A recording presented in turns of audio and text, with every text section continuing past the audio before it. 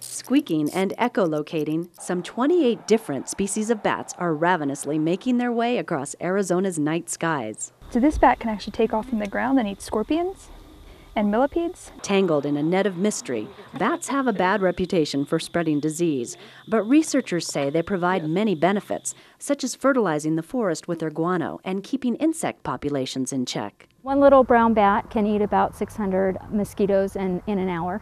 While there's no shortage of food for these bats, wildlife biologists are working to shed some light on the shortage of standing dead trees, where many like to roost. We have a lot of trees, uh, but you don't often see a lot of dead trees, and when you do, they're not usually very large dead trees. And the bats that we've been studying use trees that are 25 or 30 inches in diameter. So while the Ponderosa Pine Forest is currently crowded with young trees, forest researchers like NAU forestry grad student Liz Mehring are offering an alternative in bat housing, such as wedged boxes attached to tree trunks, mimicking the qualities of standing big dead trees. A lot of bats roost in exfoliating bark, and so bark that's loose from the tree.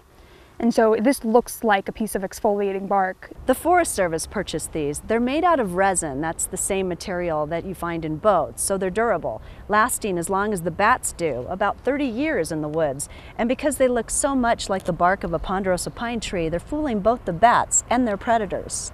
We've gotten a lot of use based on single bats, so mostly non-reproductive single bats that have been using them.